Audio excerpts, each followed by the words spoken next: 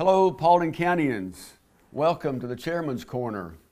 I think you've probably been here with me before. Today I've got with me Tabitha Pollard, the uh, Finance Director, uh, who has gained several years of experience at this now. So I look forward to us uh, talking about some things that can help you to understand how our budget works and just how the finances of the county work. So welcome, Tabitha. It's great to have you. Thank you. And um, I always like to start out with a, little of your history and just tell us a little bit about yourself and how you got here. Okay. I graduated from the State University of West Georgia with a Bachelor of Business Administration in 96. From the 96 to about 98, I was employed with the U.S. Postal Service. Then I came to work in for Paulding County in, 98, in January of 98. I was, my first task um, was water and sewer accountant I was, the Water Sewer Authority had recently been dissolved, and I was bringing the financial information from there to the financials of the county. Um, that took place for several years. In that time, in May of 2002, I went back to school, achieved my Master's of Professional Accounting. In 2003, I was promoted to as Assistant Finance Director, and in 2005, I was promoted to the Finance Director um, in Paulding. Well, that's quite a broad background, a lot of experience in education. Um, uh, so we're delighted you have that kind of a background. Uh, tell us a little bit about your staff and, and what your overall mission is. Okay, the finance department currently has um, nine positions approved. We have eight.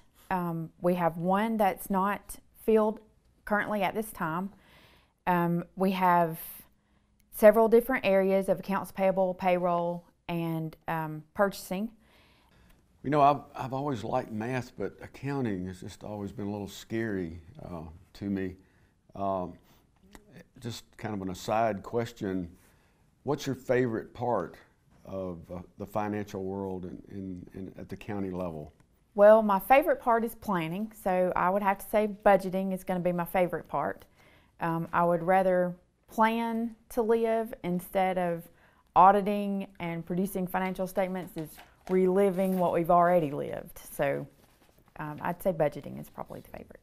You're one that looks ahead, huh?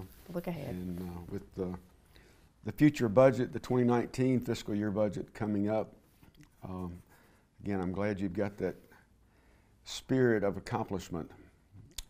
Your department's been recognized for uh, excellent work and received several awards, prestigious awards, and the Certificate of Achievement for Excellence in Reporting and the Distinguished Budget Presentation Award. Can you elaborate on those awards a little bit for us? I can. We have received the Certificate of, of Achievement for Excellence in Reporting since 1995. Um, that is the highest form of recognition in governmental accounting for financial reporting, and its attainment represents a significant accomplishment each year by the Finance Department as a whole. Um, it takes all of us to achieve that award, as well as our governing body.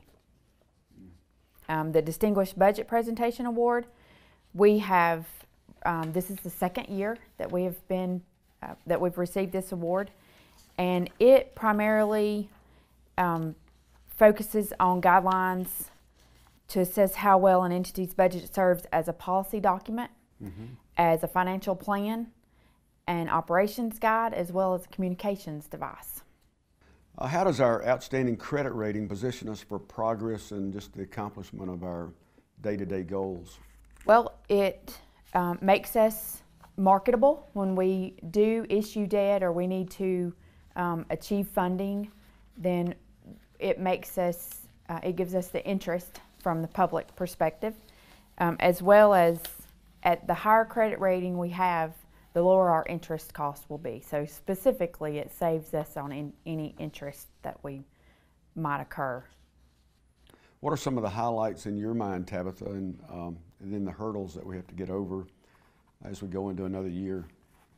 Well, we're trying to add back some services that maybe were reduced um, during the recession years.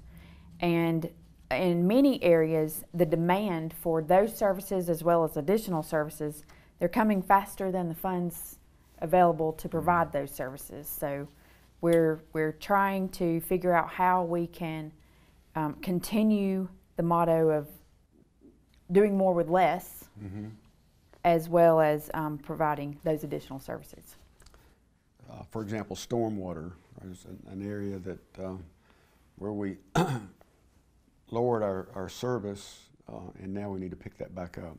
We did. As housing was, we weren't seeing the housing growth, so we reduced the stormwater service. Right. And then now, as that housing's coming back, we're being required to, we're falling behind if we, the more we grow without having that service. Right. Um, well, you've talked a lot about service, and uh, that's a great word. Um, the opportunity to serve and service uh, is kind of what county government uh, could be described as. Um, as far as citizens understanding the uh, the property tax and how that's associated with the budget, um, what do you think's the most difficult part for our citizens to understand about their taxes? Um, I think the most difficult part is there are several components that make up the, the property taxes. One, your assessed value. Second is your millage rate. Those two multiplied together um, equal your levy.